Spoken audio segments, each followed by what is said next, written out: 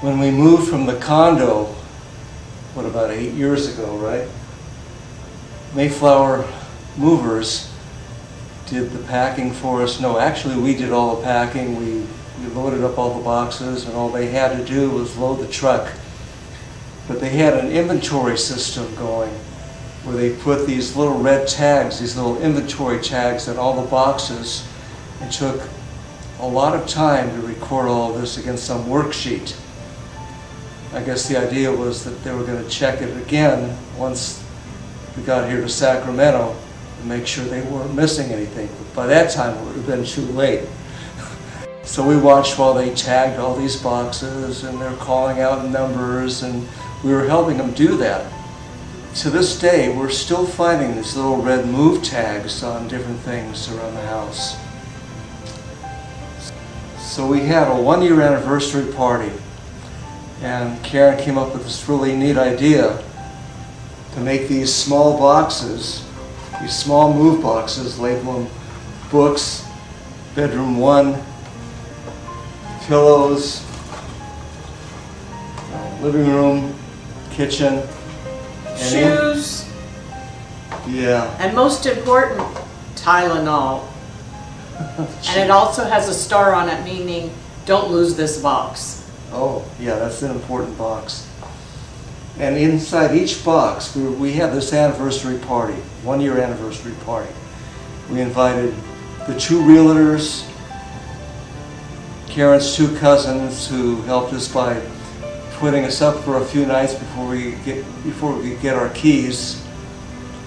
And their, their wives and friends and kids.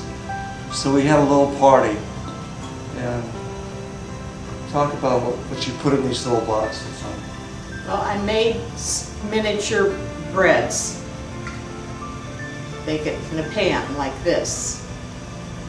And as they were done, then I wrapped them up in cellophane and put them each in a box. Like so. And then had them stacked up here on the counter and a gift of appreciation when they left, they were to choose a box and take it with them. So it was just a clever way, I thought, of saying thank you. I thought it was very imaginative. And my contribution to the anniversary was to make a six-foot banner and put it up on the, on the wall here in the hallway. And it was thanking the realtors and her cousins for, for what they did to help us get situated. The banner stayed up for a little while and then we took it down. So now it's time to finally, I guess, get rid of these clever little boxes and all With of, inventory tags that we salvaged. And just for note, there were 191 of those boxes. oh.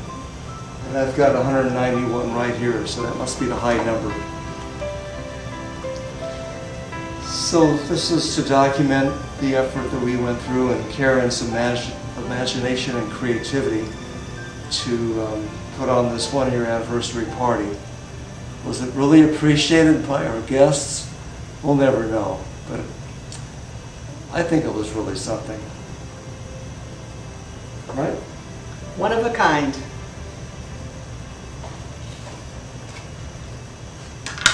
I think we need some more bread. Yeah. We've got a corrected amount. The high number was 314.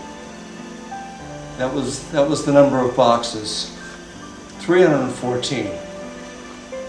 I am so glad that I did not make 314 loaves of bread.